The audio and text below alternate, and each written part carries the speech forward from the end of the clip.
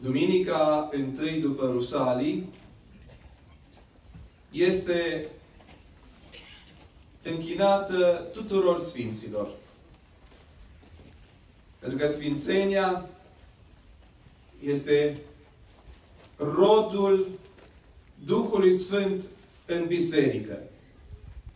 Și bine să zic că Sfântul este omul rusalilor. Mi se pune așadar în față o cale. Și deopotrivă cu această cale, ni se propune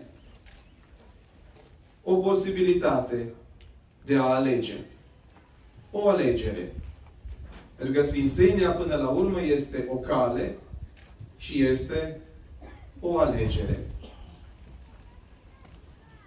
Și pentru ca să știm care este această cale și să mai știm și ce trebuie să facem, ni se dă astăzi, ni se pune în față, folosind exprimarea Sfântului Apostol Pavel în epistola către evrei, în fragmentul pe care tocmai l-am ascultat, ni se pune în față un nor de mărturii. Un nor de mărturii al Sfinților de până acum.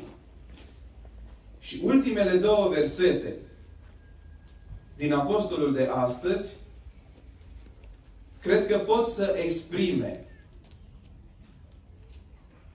pe înțelesul nostru și în termeni generali care sunt primele două momente esențiale în această cale, în această alegere pe care Biserica ne-o pune în față, în mod special astăzi, în Duminica tuturor Sfinților.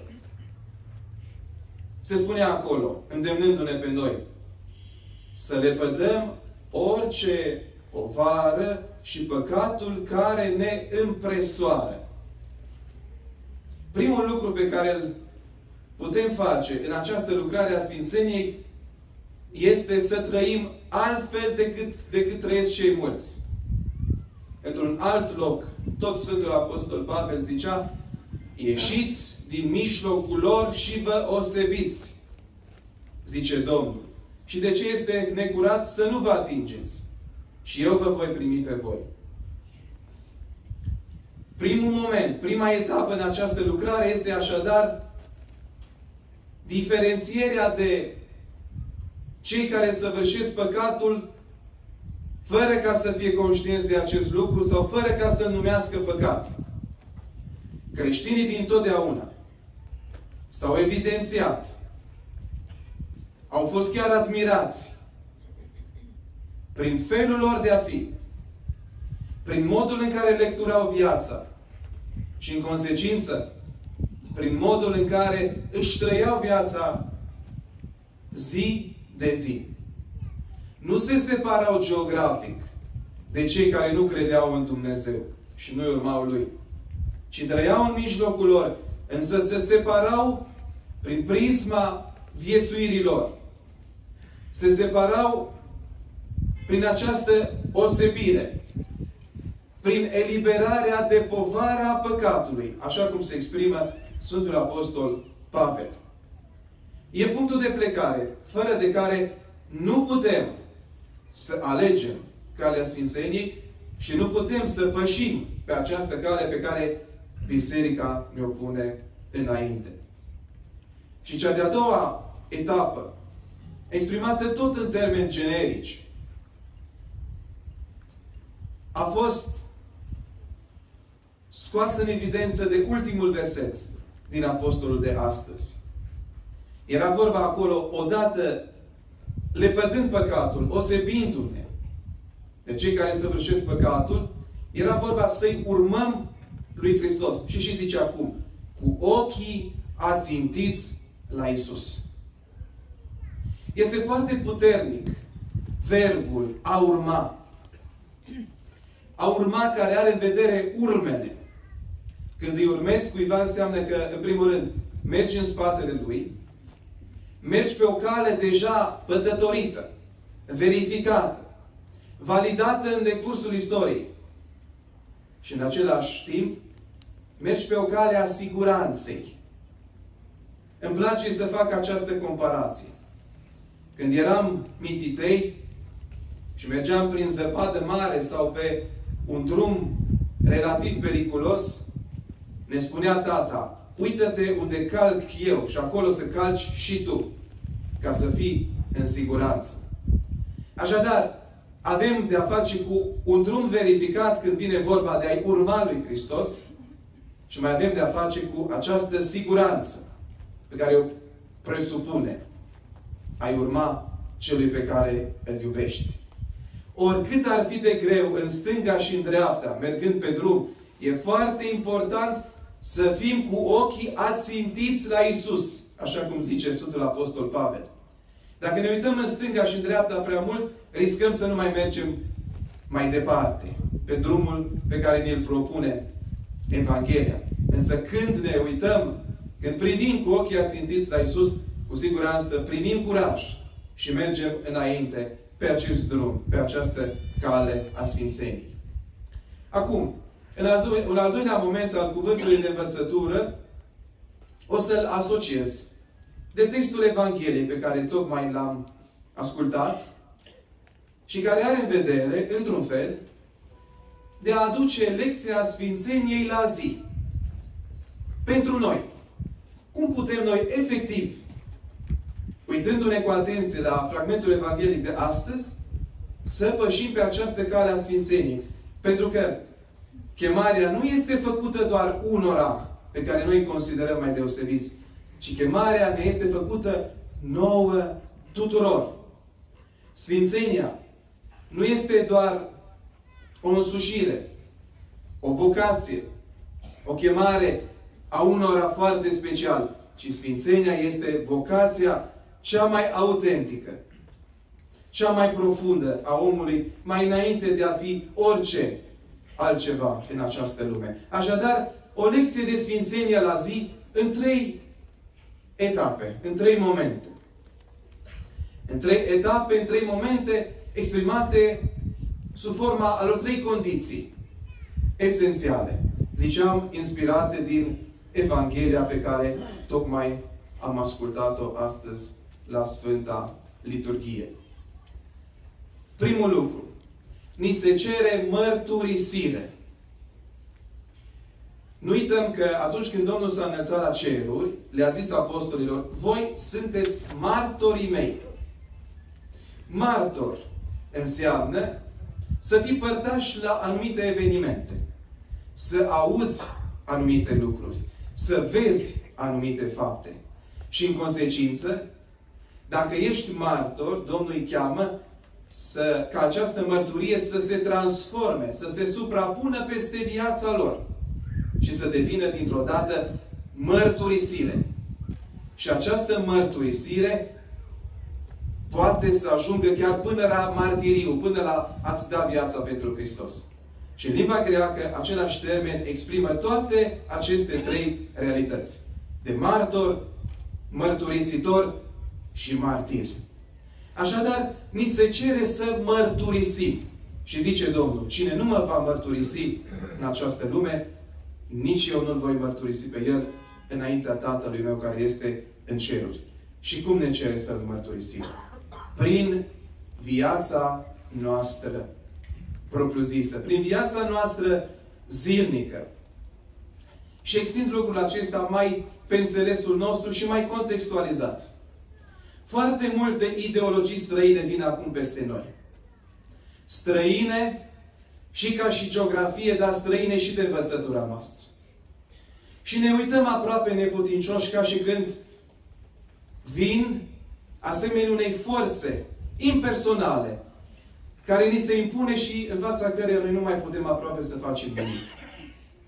Și zic lucrul acesta că poate ar trebui să avem o altă înțelegere mai nuanțată. Mai și putem face câte ceva. Pentru că chiar dacă vin ideologii străine înspre noi, cei care le acceptă sau nu le acceptă suntem noi. Cei, ca, cei pe care Dumnezeu a îngăduit să ocupe poziții importante în ierarhia noastră socială, și politică deopotrivă și bisericească împreună. Suntem și noi responsabili de prezent și mai ales de viitor. Pentru că până la urmă, a mărturisi nu este o chestiune privată sau doar privată, ci a mărturisi este o chestiune publică. E important să fim consecvenți cu propriul nostru crez lăuntric și atunci când situațiile delicate ne-o cer. Și în felul acesta să ne dovedim creștini în Duhul cel mai fidel al Evangheliei. Nu luptând cu armele, ci totuși apărându-ne credința, modul nostru de a fi frumos, ortodox și românesc, în care ne-am pomenit și care ne-a ținut ca neam și credință până în zilele noastre. Suntem așadar responsabili. Și fiecare suntem chemați să-L mărturisim pe Hristos și Evanghelia Lui în locul în care ne-a pus Dumnezeu. Să nu ne fie rușine. Pentru că este parte din identitatea noastră.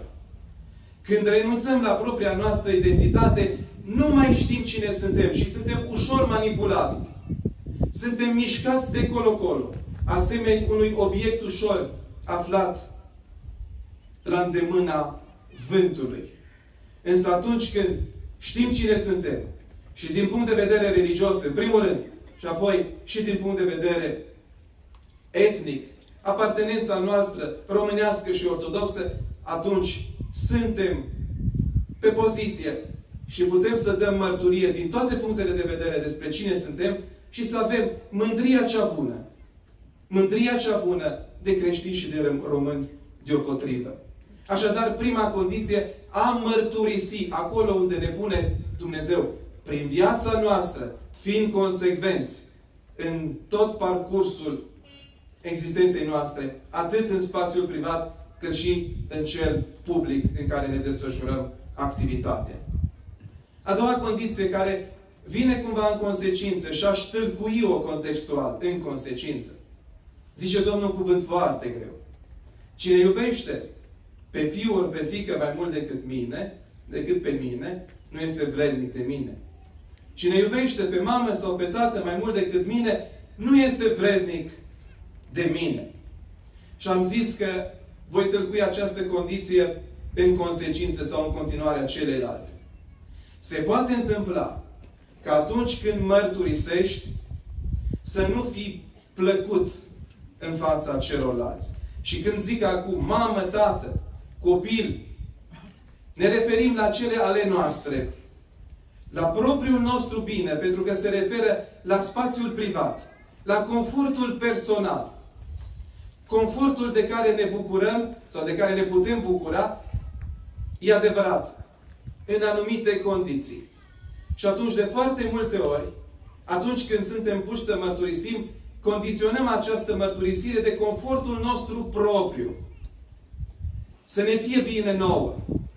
Și ca să ne fie bine nouă, facem unele lucruri în consecințe care, nu de puține ori din nefericire, sunt reprobabile. Dar tocmai pentru a ne păstra un confort personal. Pentru ca cineva să nu lovească direct în ceea ce avem noi mai bun și mai odihnitor. Și anume viața noastră personală. Zicând Domnul acest lucru, ne pune iarăși în fața unei alegeri.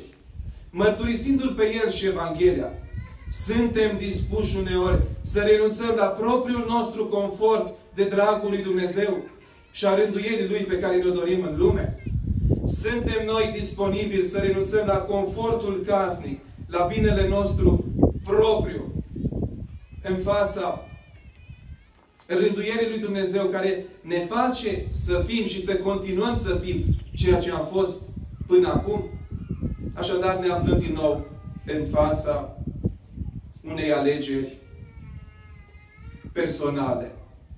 Unei fericiri în confortul nostru propriu sau unei fericiri orientându-ne înspre Cel care, de la care vine toată darea cea bună și tot darul de săvârșit. Pentru că atunci când Domnul zice să-L iubim mai mult pe Dumnezeu, ne arată sursa de unde vine binele în lumea, în lumea aceasta. Nici o ideologie nu poate să aducă binele pe care îl aduce Dumnezeu.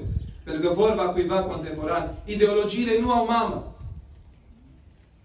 Învățătura noastră vine de la Dumnezeu. Și este verificată timp de 2000 de ani.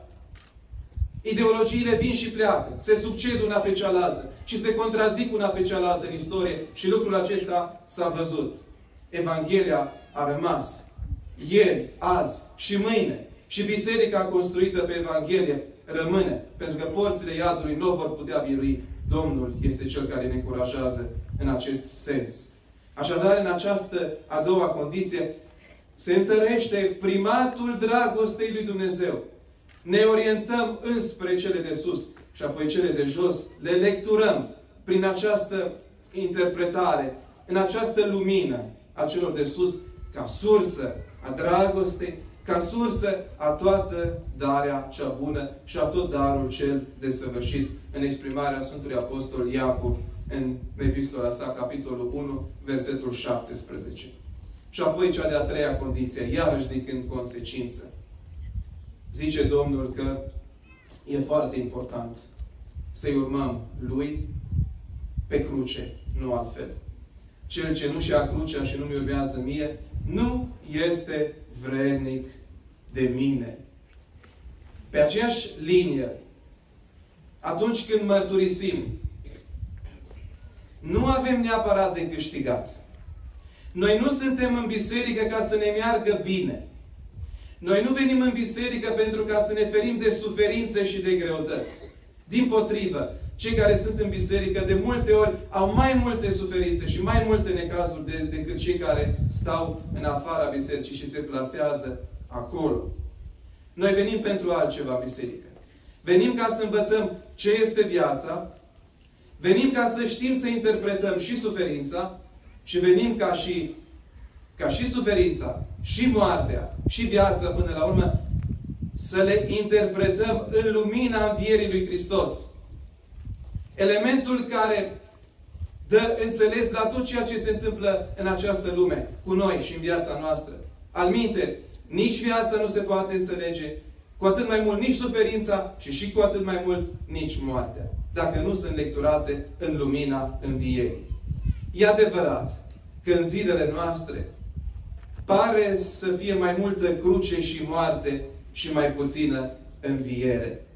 Însă nu să nu uităm că ceea ce ne-a promis Hristos rămâne veșnic, valid și verificat. El ne-a promis viața cea veșnică. Dacă ascultăm de cuvântul Lui și credem în Cel care l-a trimis pe El, în Tatăl cel din ceruri. Așadar, învierea, chiar dacă este mai puțin vizibilă decât crucea, învierea este rezolvarea întregilor probleme din această lume. Totul este bine când se termină cu învierea, pentru a exprima conclusiv acest lucru. Și mai învățăm ceva de aici din a urma lui Hristos urcându-ne pe cruce. Că e foarte important ca și noi în biserică să avem o trăire smerită, nu triumfalistă. Biserica n-a fost puternică în timpurile triumfaliste, ci a fost puternică atunci când și-a asumat smerenia lui Hristos. Smerenia lui Hristos care se transformă în putere în termenii Evangheliei, în exprimarea evanghelică. Și biserica devine puternică prin cruce. Și mai știm ceva, că prin cruce bucurie vine la toată lumea. Aș numi tot ceea ce am exprimat până acum în cele trei etape, condiții, aș numi acest parcurs drept o pedagogie a cerului. Altfel decât suntem noi de regulă obișnuiți. Și exprimată ca o viziune inversă asupra lucrurilor. Noi, în general, gândim altfel. Dacă e vorba de mărturisire, mărturisim atât timp cât avem de câștigat din această mărturisire. Dacă e vorba de a ne iubi pe, pe noi mai mult decât pe Dumnezeu, este vizibil și acest lucru. Și în al treilea rând, toți ne ferim de cruce. Ne este frică de suferință. Și de aceea am zis că acest parcurs pe care ne-l propune Evanghelia de astăzi, ca și cale a Sfințeniei, înseamnă într-un fel o viziune inversă. sau inversate intenționat care exprimă Evanghelia, care exprimă pedagogia cerului și care ne pregătește, de fapt, pentru veșnicie. Nu ne propune un optimism fals, care nu are fundament, ci ne propune o viață plină de nădejde.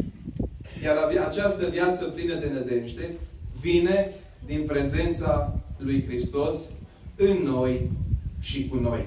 Oricât ar fi de greu în această lume, să nu uităm acest lucru pe care ne spune Hristos. Eu sunt cu voi. Eu sunt cu tine. Și nimeni împotriva voastră. Amin.